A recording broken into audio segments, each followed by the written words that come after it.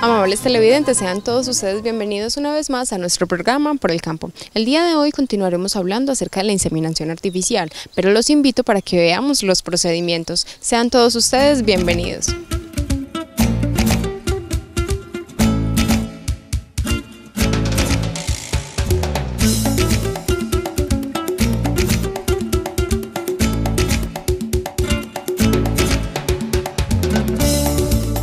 Bueno, don Mario, cuéntenos exactamente dónde estamos.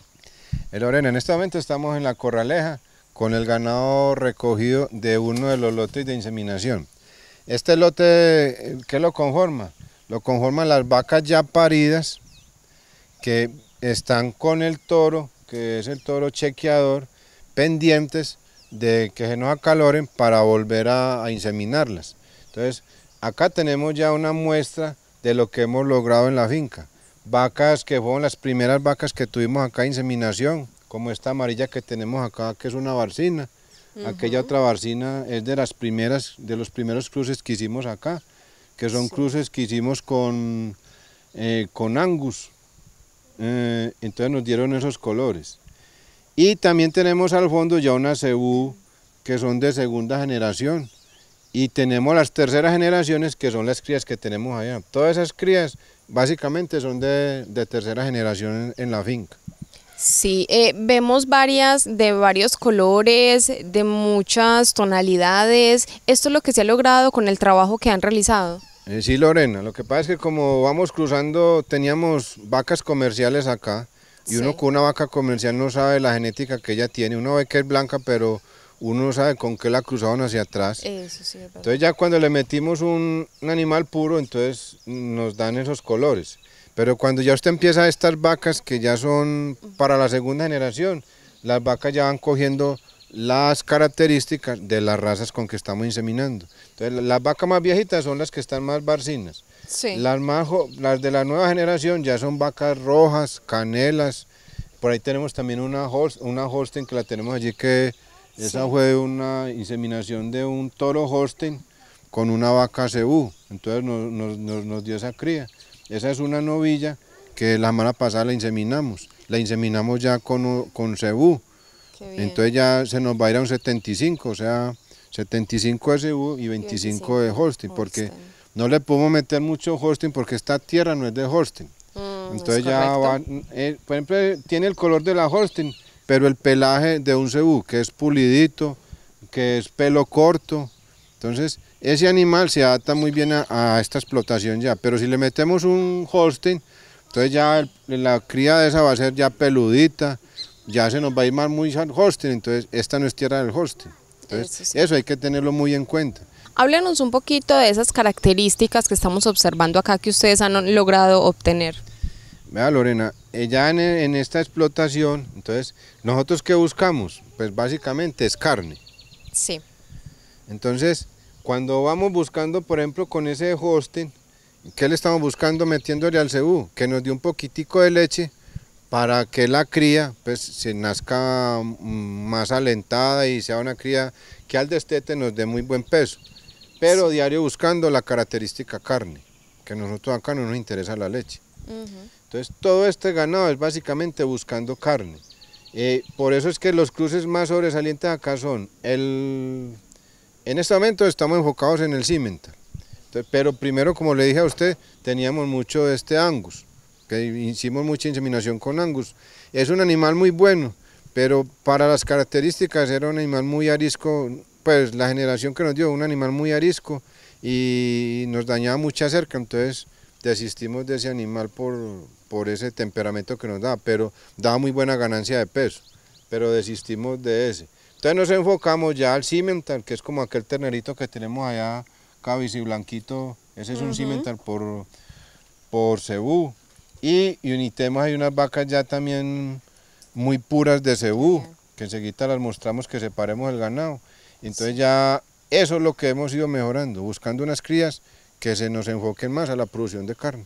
Muy bien, háblanos un poquito ya eh, cómo va a ser o cómo se realiza el procedimiento para la inseminación. ¿Qué se debe hacer? Separamos el ganado para que ustedes vean cómo es el proceso y entonces ya lo metemos al embudo y se hace todo el, procedimiento de, de, de inseminación. Hoy también vamos a aprovechar, vamos a palpar algunas vacas de estas para ver si ya están porque ya les hizo el proceso de inseminación. A los dos o tres meses nosotros eh, entramos a palparlas, a ver cómo van, pues si no se volvieron a calorar, porque muchas veces usted insemina y a los 20 días ella repite, que es un, eso se llama un calor, pues perdone la redundancia, que repitió, entonces vuelve y se insemina. Si ella no mostró más calores, entonces ya dejamos que pase dos meses o tres meses para poder palparla y ya si está preñada, entonces ya se va a otro lote, que es donde están todas las preñadas, y, esperamos ya que termine la gestación, nueve meses, nueve meses larguitos, y ya se bajan acá a la casa, a otro potrero que tenemos, donde es el, el potrero donde tenemos todas las crías. Entonces, enseguida ya separamos el ganado para que ustedes vean todo el proceso y hablamos con Gonzalo, que es el encargado de la inseminación y de las palpaciones para que miren cómo se hace el proceso de la inseminación y, del manejo que se hace con este ganado. Pregunta curiosa, si el ganado es bravo o si por algún motivo eh, en el cruce eh, quedan bravos, entonces se descartan. Eh, por manejo y por seguridad ocupacional, pues para evitar traumas en la finca, estamos descartando todo lo que sea muy arisco o muy temperamental. Entonces ese ganado se ha estado descartando. Claro que usted nunca se puede descuidar con un animal de estos. Un animal, por el proceso que le vamos a hacer, ellos se alteran eh, o se molestan. Entonces, por ejemplo, cuando los inyectamos, pues cualesquiera que altere su, si a usted lo van a inyectar, pues usted se, previene. Claro. Y más uno, si de inmediato lo chuzan, pues el, el, animal brinca y tiende a defenderse. Lo mismo cuando lo vamos a meter a una, a una corraleja, a él no le gusta entrar allá porque se estresa. Entonces, esos son temperamentos que hay que soportarles al animal.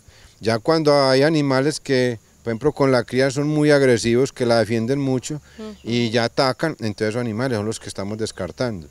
Pero ya eh, aquí hay animales que pasan la primer periodo, pues al primer parto, y ellos se van ya adecuando al manejo, entonces se suavizan, su temperamento mejora. El que no mejora sí se descarta para evitar problemas. Ah, bueno, ¿hay algún caso en el que la vaca no haya dado eh, su cría, sino que haya tenido un aborto? Sí, ha habido abortos, eh, ha habido problemas que se nos mueren al nacimiento. Por ejemplo, esta semana tuvimos un caso de un animalito que llevaba un mesecito y se nos murió ayer. Pues por problemas de enfermedades, pero eso es como en toda explotación, usted tiene que eh, estar pendiente que, de prevenir, pero uno no alcanza a prevenir al 100%, usted siempre tiene que tener un margen de que se le va a perder algún animal. ¿Qué se va haciendo con las vacas que ya no van a estar más por algún motivo, porque ya están muy viejas o por genética? Eh, lo que se va descartando por cualquier motivo, eh, todo va para carnicería, pues, eh, se va para carne. cuéntenos un poquito de, cómo se realiza la, el, para palpar. si quiere ya separamos el ganado y entramos ya al corral para que ustedes vean todo el proceso. Ah, claro que sí, entonces vamos a ver el proceso.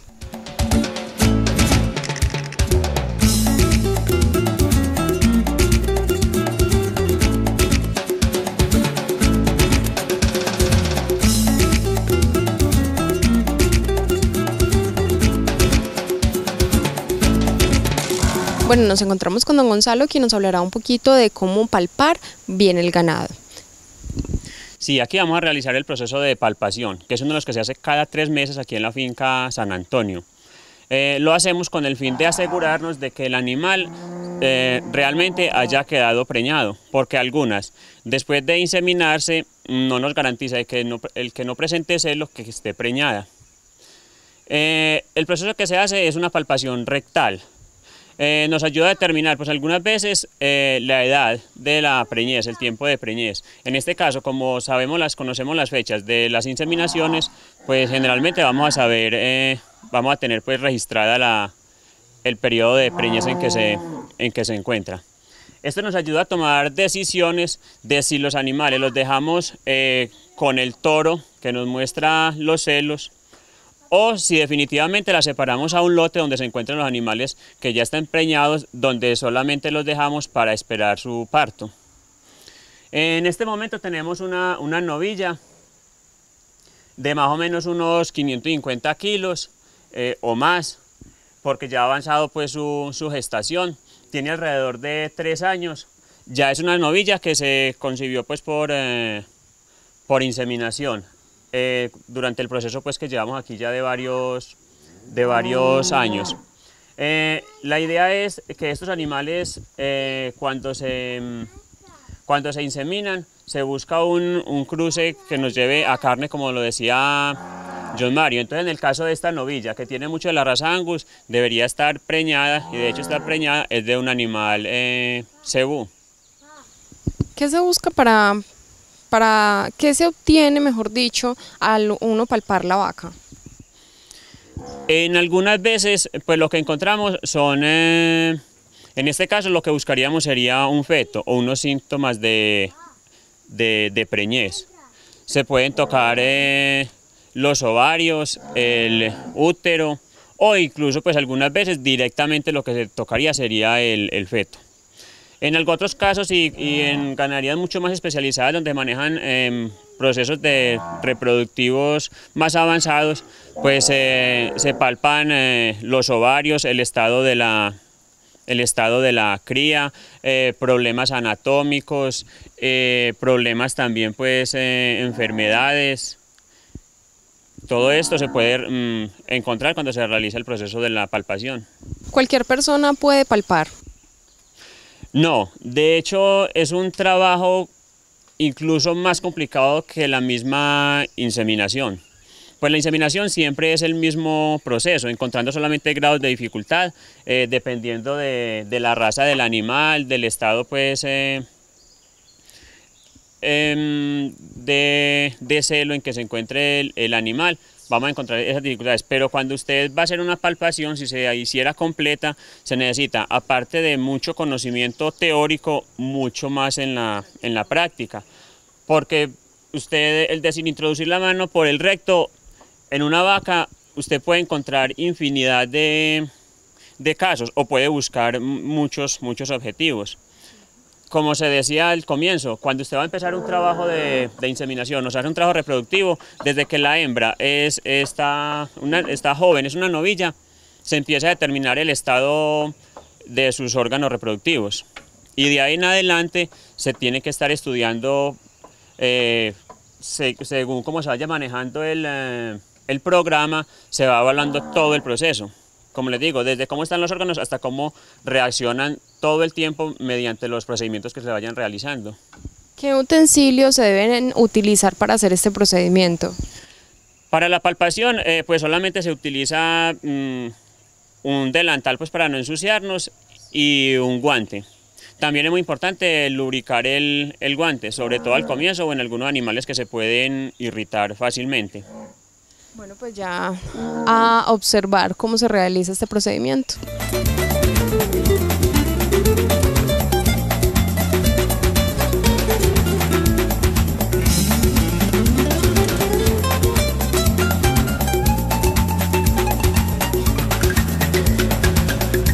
Bueno, ya hemos realizado eh, la palpación. ¿Qué se encontró al momento de palparla? En este momento, como lo dijimos anteriormente, se buscaba solamente detectar la preñez.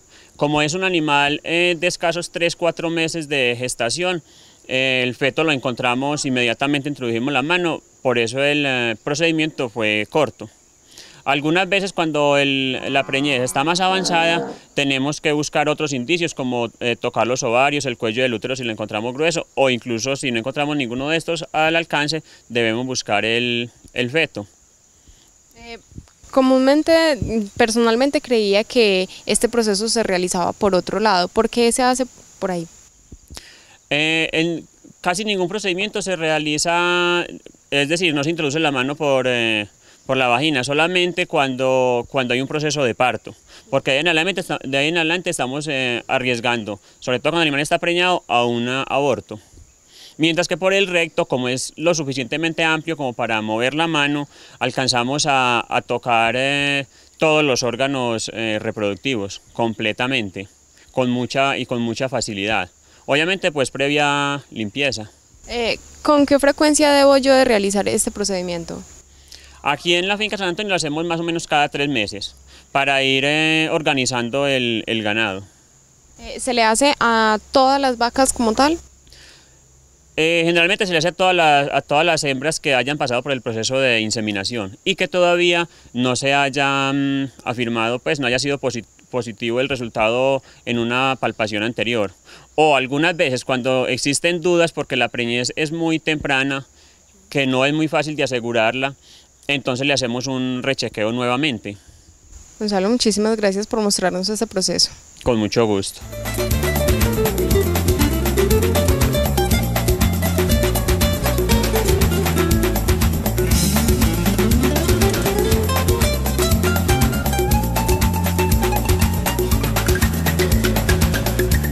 Bueno, Gonzalo, ahorita estuvimos observando el tema de la palpación. Ahora enséñanos cómo se debe inseminar y con qué instrumentos. Eh, sí, en este momento vamos a realizar el proceso. Aquí tenemos todos los instrumentos que utilizamos en la, en la finca, pero también tenemos el termo donde se almacena todo el semen. Allá está contenido el semen y conservado en nitrógeno líquido. De ese termo eh, lo que hacemos es sacar cierta cantidad de nitrógeno que lo traemos en un termo más pequeño en el que lo podamos transportar a cualquier finca. Entonces después de, traer, eh, de, traer, de tener aquí todos los instrumentos, procedemos a ponerlos en una forma en que estén disponibles para organizar eh, la pistola y el guante, que es con lo que haremos finalmente el proceso. En este momento tenemos aquí unas servilletas y un periódico para realizar el aseo inicial al animal. Eh, lo ideal es no utilizar agua, aunque también se podría utilizar, pero por el agua ser eh, espermicida, pues obviamos el, uso.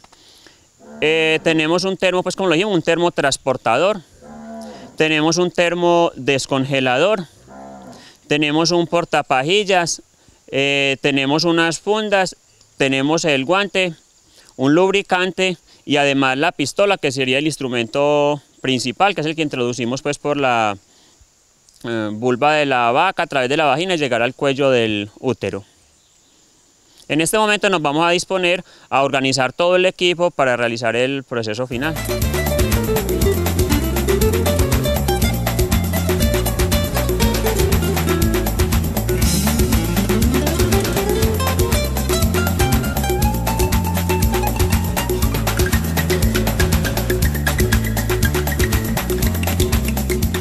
Entonces, aquí tenemos eh, nuestra pajilla en nitrógeno líquido, que fue en el que se transportó. De aquí, como viene congelada, la debemos pasar a este otro termo que contiene agua tibia a 37 grados para que se descongele. Aquí lo que hacemos es que la pajilla se ponga a la misma temperatura que está la vaca. Ahí la dejamos durante unos 40 segundos. Luego de los 40 segundos procedemos a sacarla y a secarla. Siempre lo debemos hacer con cuidado y protegidos de los rayos directos del sol.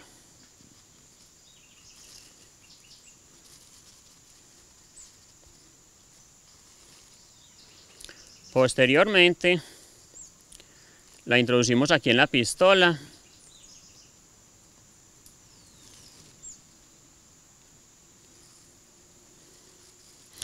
Luego, como la pajilla viene sellada, procedemos a, destaparla.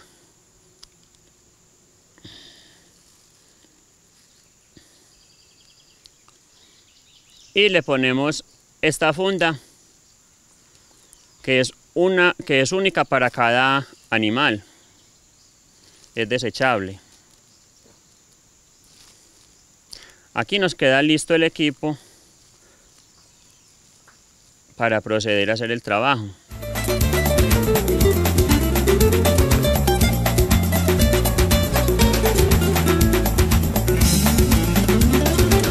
Bueno, ya de haber conocido los utensilios e implementos que se necesitan para hacer la inseminación, vamos a, contarnos un poquito, eh, hábleme un poquito de la vaca.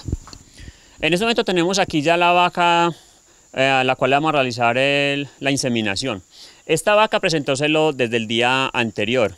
Eh, nos lo informaron, entonces ya me programé para salir en la mañana. Eh, normalmente la vaca que se acalora en la tarde se insemina en la mañana y la que se acalora en la mañana se insemina en la tarde. Por eso para este procedimiento debemos estar muy disponibles, tanto la persona que está eh, chequeando el animal, el celo del animal, como el inseminador. Bueno, Gonzalo, entonces enséñanos. Sí, aquí previa limpieza pues de, del área donde vamos a trabajar, vamos a realizar el proceso.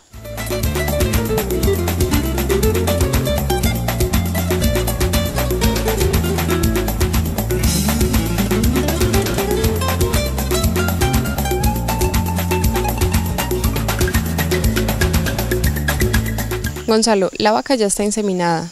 ¿Qué se procede a hacer con ella?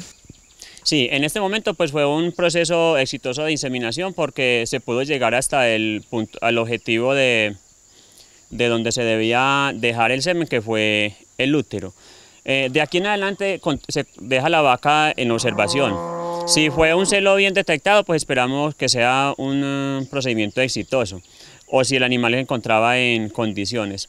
Mm, lo principal es estar pendiente en 20 días que es generalmente el tiempo en que se presenta de nuevo el celo, de no haber quedado preñada y si la vaca continúa con su ciclo normal. Entonces, si lo repite, realizamos de nuevo el procedimiento.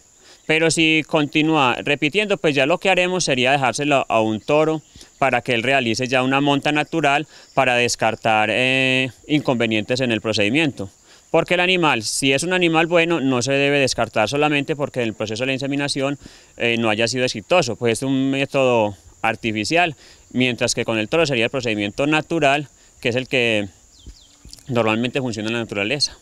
¿Cuántas veces puedo hacer yo la inseminación en, la misma, en el mismo animal?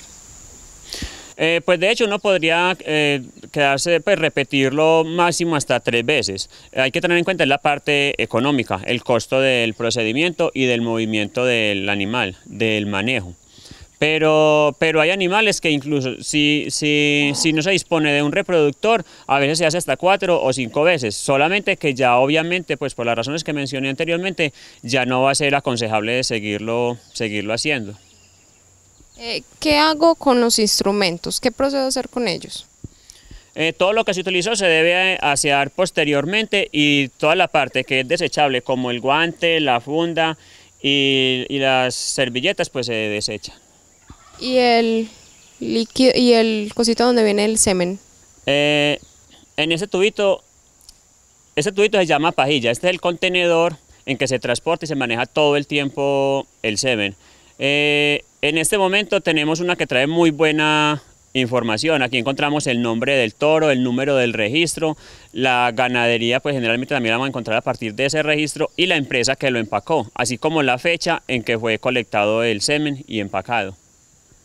Pero no tiene algún uso, solo para entregárselo al dueño y ya. Es muy importante cuando uno realiza el proceso a una persona particular para que él sepa exactamente con qué toro se inseminó la vaca porque partiendo de esta información, él puede buscar en catálogos eh, por internet, sean las empresas distribuidoras del semen o en la misma empresa que produce el semen o los propietarios del toro, de qué animal, eh, toda la información de ese animal con que, que viene contenido aquí, que es la que él espera se traduzca en las crías que va a obtener o en la mejora de su ganadería. Gonzalo, muchas gracias por toda la información que nos brindaste y además por eh, hacernos la demostración de cómo se debe palpar y cómo se debe inseminar. Con mucho gusto.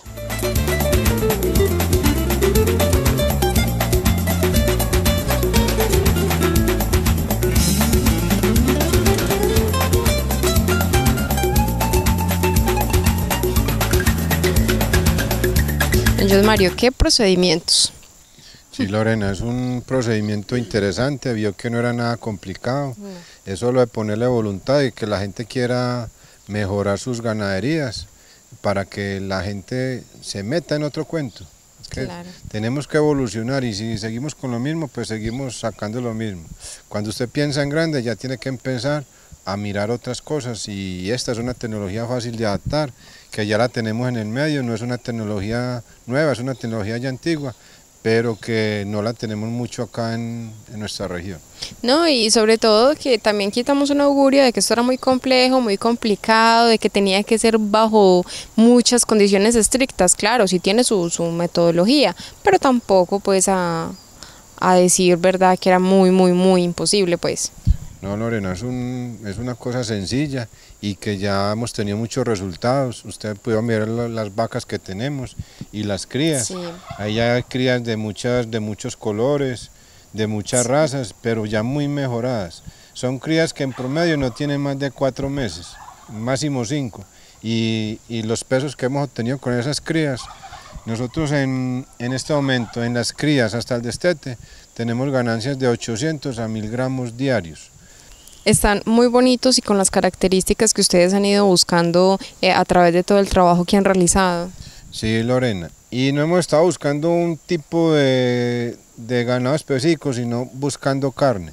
Por eso es que usted ve muchos matices de colores de ahí, a excepción de la, una novilla que tenemos roja, que esa sí la hemos eh, venido explotando en novillas rojas. Entonces lo que tenemos muy puro rojo, eso sí le hemos estado metiendo cebú rojo rojo para lograr eso que tenemos allá. Una novilla canela muy linda, muy bien formada y, que ya es una novilla que usted la saca a cualquier parte y nadie le la va a recatear. Y es de admirar. Sí, y que usted y que nos sigue acá reproduciendo. Esas son las terneras que las vamos a dejar acá como eh, futuras madres de la explotación de nosotros.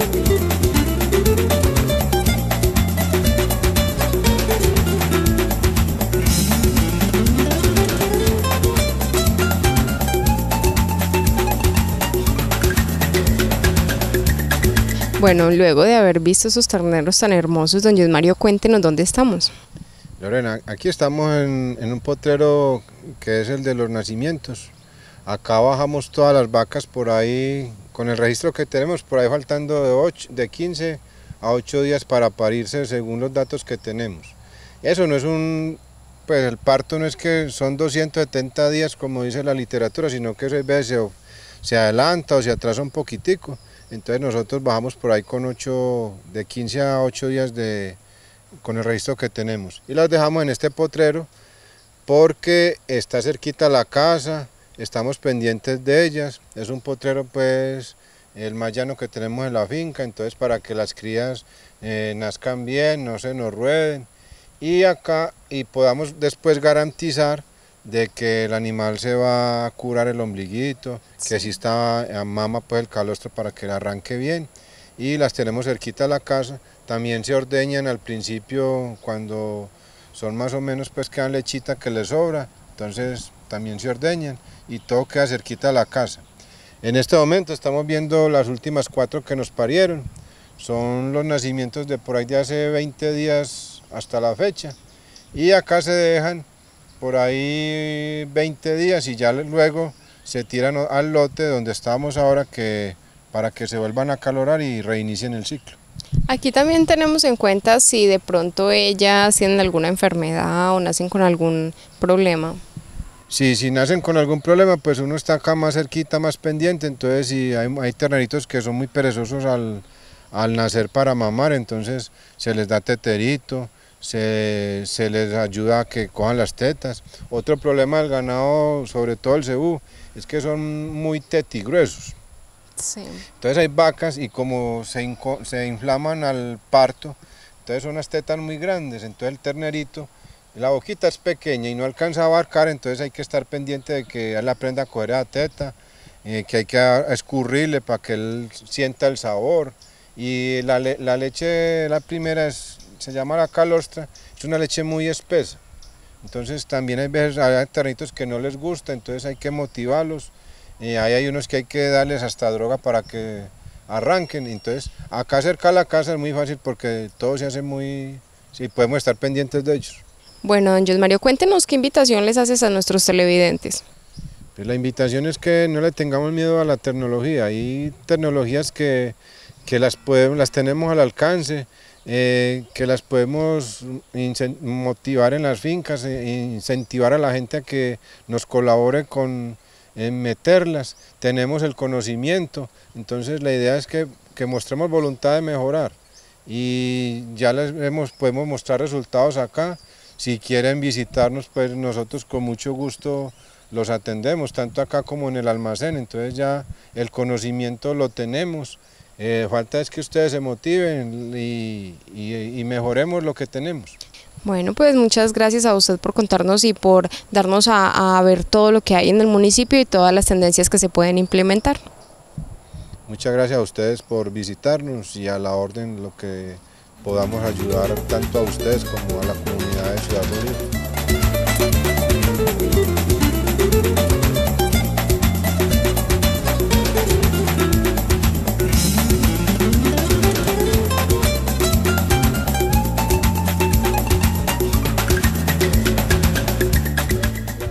Bueno, realmente conocer acerca de este tema es muy importante y saber que lo tenemos aquí en la región debemos aprovecharlo. Los espero en una nueva emisión de su programa Por el Campo. Hasta pronto.